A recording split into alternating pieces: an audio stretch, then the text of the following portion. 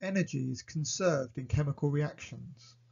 The amount of energy in the universe at the end of a chemical reaction is the same as that before the reaction takes place. If a reaction transfers energy to surroundings, then the product molecules must have less energy than the reactants by the amount transferred.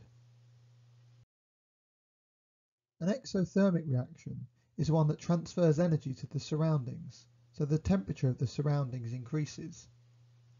Exothermic reactions include combustion, many oxidation reactions, and neutralization. Everyday uses of exothermic reactions include self-heating cans and hand warmers. An endothermic reaction is one that takes in energy from the surroundings, so the temperature of those surroundings decreases. Endothermic reactions include thermal decompositions and the reaction of citric acid and sodium hydrogen carbonate.